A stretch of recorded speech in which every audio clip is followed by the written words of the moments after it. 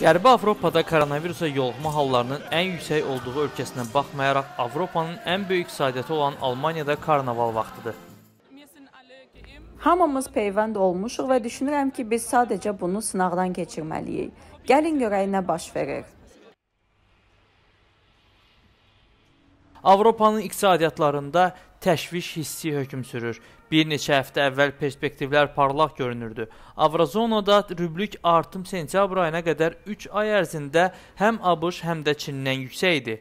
Ancaq COVID-19 geri dönüb. Almaniya, Avstriya, Niderland, Bolqarıstan və Rumıniya qismən karantin rejimi tətbiq edən dövlətlər arasındadır.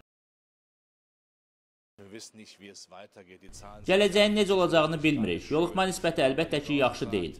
Ancaq səhmlər bunun keçmişdəki kimi, məsələn, iqtisadiyyatın az qala dayandığı və böyük borc yarandığı kütləvi qapanmaların olmayacağını göstərir. Bu bir sadə səbəbə görə baş verməyəcək. Əgər hələ də karantin rejiminə girməlisənsə, peyvənd olunmağın nə mənası var?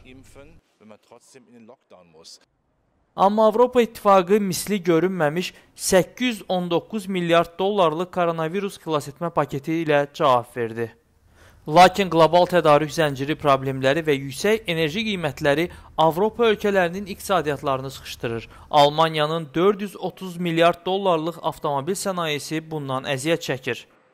Müəyyən məhsulların tarixən görünməmiş çatışmazlığı var. Yarım keçirici çatışmazlığı yüz minlərlə avtomobilin tamamlanmamasına səbəb olub. İnflyasiya xərcləmə gücünü azaldır və mərkəzi banklara faiz dərəcələrini yüksəltmək üçün təzyiq göstərir. Bu qlobal problemdir. Demək olar ki, daha bir neçə ay da davam edəcək. Bunun səbəbinin bir hissəsi odur ki, yenidən açılmaqla bir çox istehlakçı tələbi artdı və buna görə də qapanma zamanı almadıkları bir çox malları almağa başladılar. Bu isə o deməkdir ki, qlobal təsir sistemi ayıqlaşmaq üçün mübarizə aparır. Avropa qış bitən kimi peyvəndlərin Covidin səbəb olduğu növbəti tənəzzülün qarşısını alacağına ümid edir.